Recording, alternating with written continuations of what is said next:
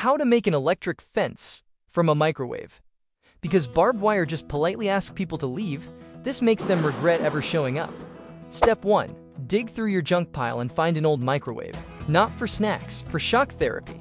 Open it up and rip out the transformer. It's that heavy metal block humming with repressed rage. Here's why it matters.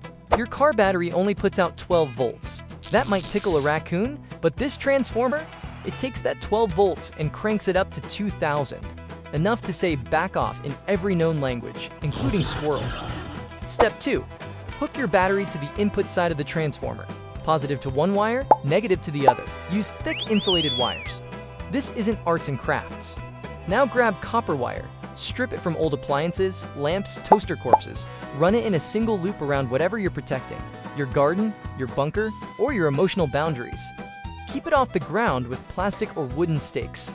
Metal shorts it out, and your therapy bill will skyrocket. Final step.